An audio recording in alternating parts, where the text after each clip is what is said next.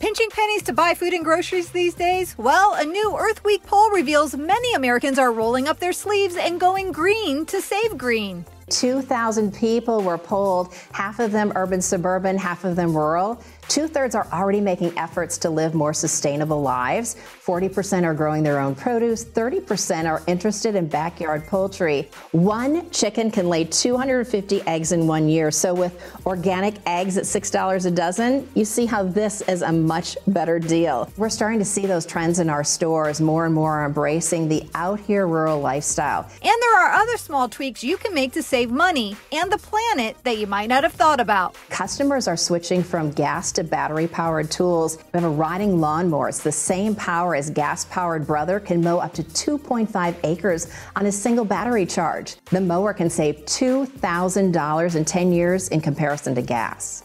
And we're also talking about people growing their own vegetables. You don't need a lot of land. You can do it on your patio at your apartment.